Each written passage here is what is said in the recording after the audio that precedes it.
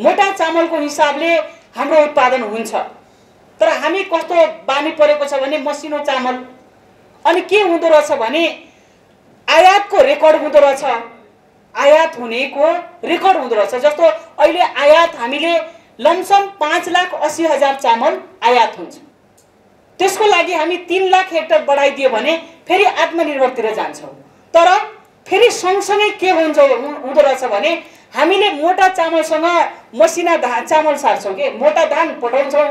त्यो रेकर्डमा बस्दो रहेछ।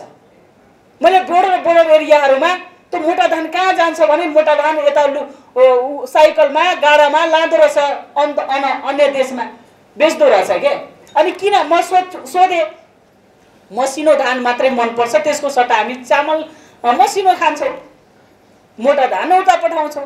भन्ने खालको पनि केही विषयहरू यो चाहिँ रेकर्डमा छैन फेरि हाम्रो आयात भएको पनि त मोटा धान कति गइरहेछ भने त रेकर्डमा बस्नु पऱ्यो नि।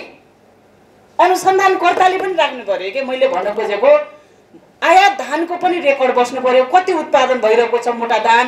कति बाहिर गइरहेको छ? त्यसको रेकर्ड छैन। मैले कति मागिरहेको छु। तर उत्पादनमा हाम्रो वृद्धि भएकै छ।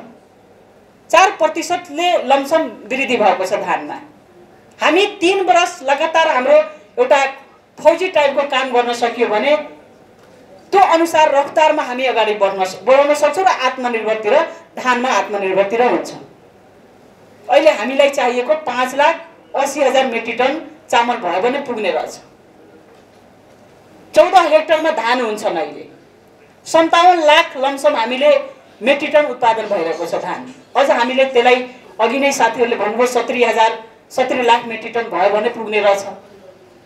त्योभन्दा अझ कमै भए पनि पुग्ने रहेछ। त्यो अनुसारले हामी धानको हिसाबले हामी अगाडि बढ्न सक्छौँ।